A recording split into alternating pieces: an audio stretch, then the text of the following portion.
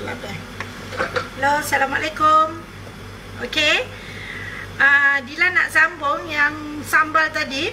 Sebenarnya tadi uh, Dila buat sambal tu cara dia semua dah sama. Cumanya tadi macam yang Dila cakap, uh, kita kurang lada. Jadi Dila pergi beli lada baru pergi beli tapi tak ada masalah sebab kita dah garingkan sambal ni semualah so dia bestnya uh, banyak lada banyak bawang semua kena banyak. Lepas tu uh, Dila ada share resipi Cik Eka tadi. Uh, nanti Dila akan share lagi sekali dalam ni. So ini ending dia. So you all boleh tengoklah sampai habis uh, buat sambal ni kan Okey, siapa yang dah masuk tu boleh komen tak? Sebab tadi Dila tak nampak komen. Jadi Dila tak reply you all punya soalan. Okey. So, ini yang tadi. Sebenarnya yang tadi ni anak-anak dah makan, dah berpinggan-pinggan. Sebenarnya okey aja yang ni. Jadi Dila just nak tambah bagi lagi banyak lagi muai lah kan. So sebab ini dia warna dia pun uh, just nice merah hijau gitu. So ni pun Dila campur cili merah, cili hijau. Kita blend macam tadi juga, blend kasar eh.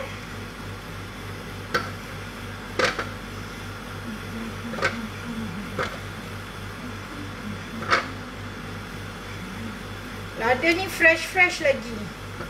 Kalau kita dekat kedai tu ada lada reject pun okey je ada reject pun boleh. Tak ada masalah. Lah rasa dia tak lari pun sebab kita masak lama kan. Ini Dila nak tambah daripada yang tadi lah eh. Tadi Dila dah buat so ni Dila tambah lagi. Ok tengok lada dia ni. Rangup pang-pang kita ni kan dia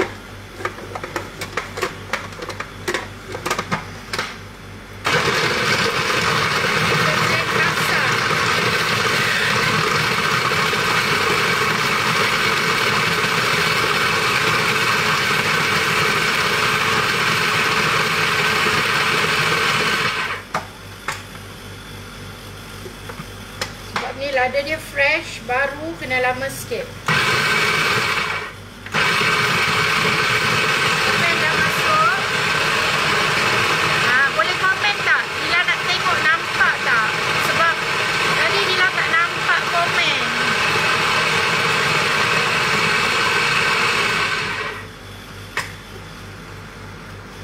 Okay. Kalau dah komen ke? Memang tak nampak lah komen. Aduh. Kenapa eh?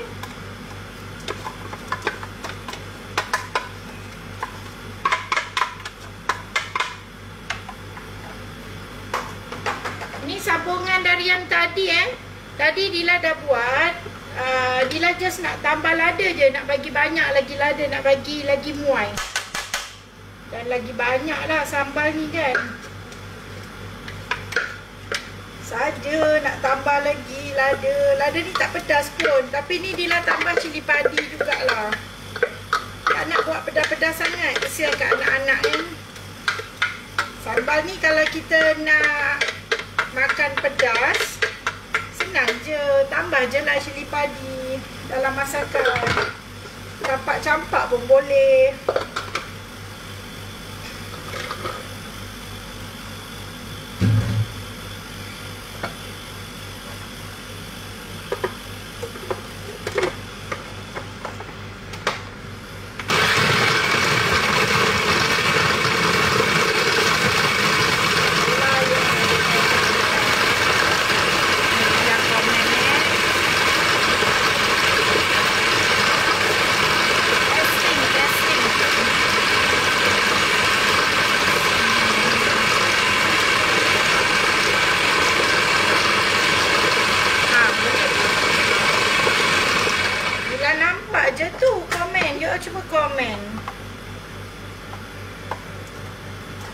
Okey.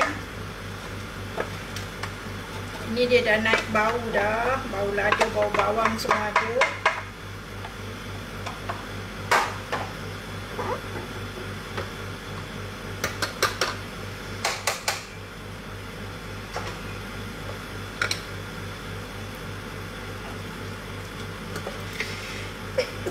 Alhamdulillah. Ha, kan dah naik bau dah ni.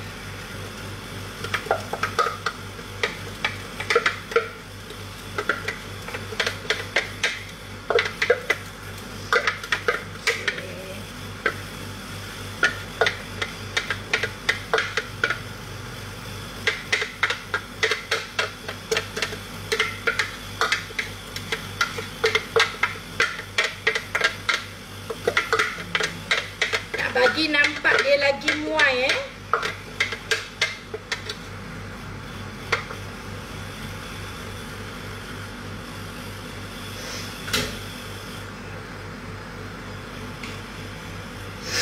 Okey.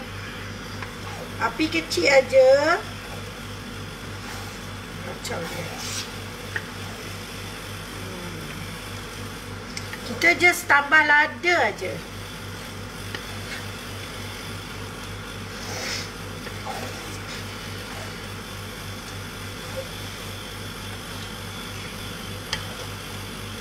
Cantik. Warna dia cantik. Barulah nampak berseri sikit. Tambah lada kan.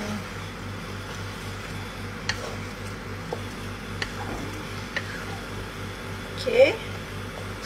Ini baru cantik rupanya. Okey, Dila tunjuk. Okey, cuba tengok. Hmm. Cerah sangat eh dalam ni. Dia kalau ikutkan dia gelap sikit lah kan. Okay, ini dah cantik sangat. Dia punya ni warna-warna dia memang cantik. Oh. So kita masak lagi. Ah dia warna dia gelap macam tu tau. Ni cahaya.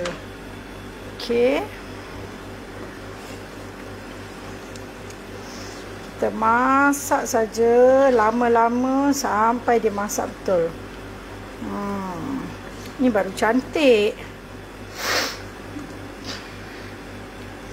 Ah, Syaza, ini sambal ni sambal serbaguna tau. Boleh guna untuk apa-apa aja. So nanti boleh buatlah. Very easy. Ah, nanti boleh buat sendiri je. Okay. Macam kalau buat banyak macam ni Nak perah limau macam malas lah juga kan. So Dila letak yang apa? Uh, Lemon. Ini pun boleh tau. Kalau tak nak perah lah. Letak limau ni paste. Rasa dia kuat juga. So tak payah letak banyak. Tadi dah letak sikit. So letak sikit lagi. Sebab rasa limau dia boleh tahan masam. Hmm, Ini pun bau. Ini dah terlebih Gila campak-campak aja. Dia bau dia limau dia kuat ni yang ni. Kalau kita masak sikit-sikit uh, perah aja lagi sedap. Ah banyak-banyak ini okey. Dila kalau sikit-sikit Dila tak guna ni. Sebab kalau kita perah lagi ngama. Okey.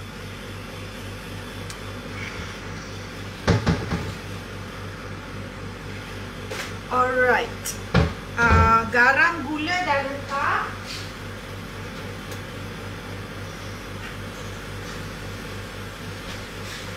Okay, sekali lagi ini uh, sos cekka. Sos cekka ni tadi Dila dekat previous punya live Dila dah bagi resepi sos ni.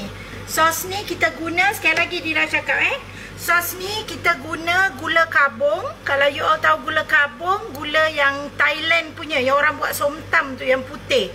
Okey, gula kabung tu you cairkan. Satu pack tu pun uh, banyak lah. Kalau you nak buat banyak-banyak macam Dila, memanglah sekali harum satu pack kan. Lepas tu, um, gula kabung. Lepas tu air asam jawa.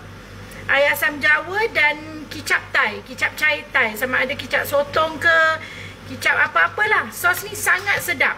Uh, you buat macam tu je. Garam sikit. Dah cukup. You dah boleh simpan macam gini. You buat sambal ke. You buat uh, apa-apalah. Ikan goreng ke apa ke. Nanti Dila ajar guna sos ni.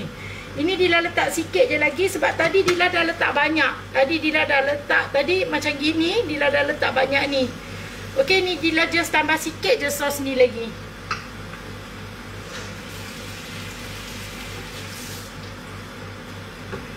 So untuk garam gula sikit-sikit je. Uh, gula tak perlu banyak sebab sos dia dah sos cekar tadi dah gula kan. So sikit je lah.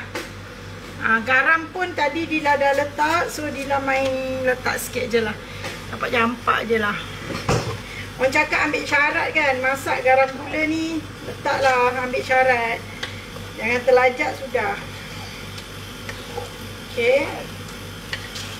Oh ini memang sedap. Ha ni baru cantik warna dia. Nak lada dia. Tadi tak nampak lada sebab dia kurang lada kan. Ini dah just nice. So kita tunggu kacau biarkan dia sampai dia garing. Api kecil pun tak apa. Biar lama je.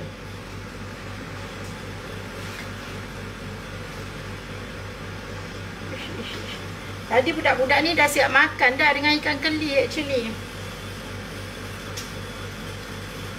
Hmm. Ini cantik sikit. Sedap. Okay. So, selesailah. Uh, sambal serbaguna kita. So sambal ni you boleh guna untuk semua benda lah apa you nak you just top up top up aja letak atas ikan boleh makan buat nasi goreng boleh apa-apa aja. You letak dalam botol simpan dan time nak cedok-cedok saja. Hmm? Very nice, very easy. Rahsia dia cuma sos cekar tu je lah. Ha, you you try lah buat sos cekar tu kat rumah ada stok sos tu senang. Sos tu pun kalau you goreng ikan, ikan uh, yang best ni ikan tenggiri lah. Tapi ikan apa-apa aja, you tabur sos tu, you siram sos tu atas ikan, tabur bawang goreng, tabur daun bawang, tabur cili padi.